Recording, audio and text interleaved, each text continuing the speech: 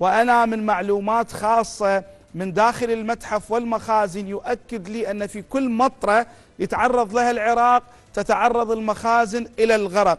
ما مدى المعلومات عندكم في هذا الجانب؟ وهل هناك فعلا متابعة من الوزارة أو اهتمام بقضية الخزن للآثار العراقية؟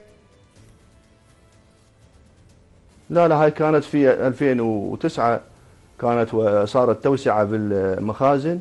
والآن المخازن يعني مسيطر عليها من من ناحية الأمطار ومن ناحية الرطوبة. أقول أن المتحف الحالي لا يليق بالحضارة العراقية. نحتاج إلى إقامة متحف أكبر وأشمل وأوسع طيب. خصوصا المتاحف العالمية الكبرى التي تحتوي على قطع أثرية عراقية. يمكن الطلب منها في مساعدة العراق ولا تكلف الخزانة المركزية أي أي يعني مبلغ طيب ومن هنا أدعو أيضا إلى اللجنة الثقافة والإعلام في مجلس النواب أي؟ لإصدار تشريعات تسمح لهيئة الآثار بأنه الرسوم التي تؤخذ على المواقع الأثرية على زيارة المواقع الأثرية والمتاحف نعم. هذه الرسوم يعني مبالغ جيدة لا بأس بها لكنها تذهب إلى وزارة المالية وإلى الخزانة المركزية ولا تستفيد من آه، هيئة الآثار للأسف أدعو كلا. آه، اللجنة الثقافية وهم كلهم من النخب الواعية أن نعم.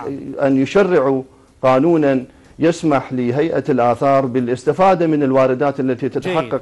سنويا وهي أرقام جيد. آه، جيدة هذا الأمر إذا ما توفر لهيئة الآثار يمكن لها أن تقوم بالأعمال المطلوبة منها سواء في مجال المخازن والمتاحف والمعارض والمواقع الأثرية طيب. كل ال ال الأموال المستحصلة من زيارة المواقع الأثرية والمتاحف للأسف لا تستفيد من أتى آه، هيئة الآثار